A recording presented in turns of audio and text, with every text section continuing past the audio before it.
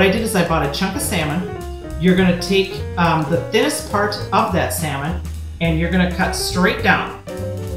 Then eventually, when you get down there, you don't wanna cut through the skin. You're gonna tr try to turn your knife sideways.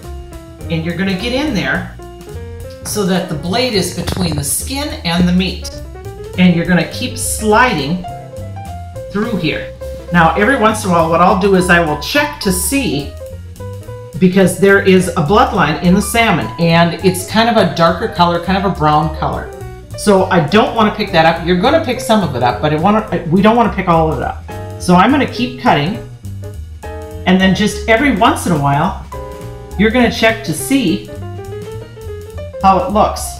And it's coming out pretty good. I'm not getting a lot of the brown on there. So I'll keep cutting it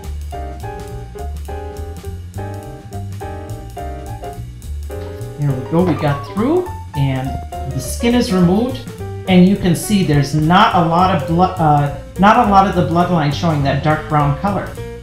So that's how easy it is to remove skin from salmon.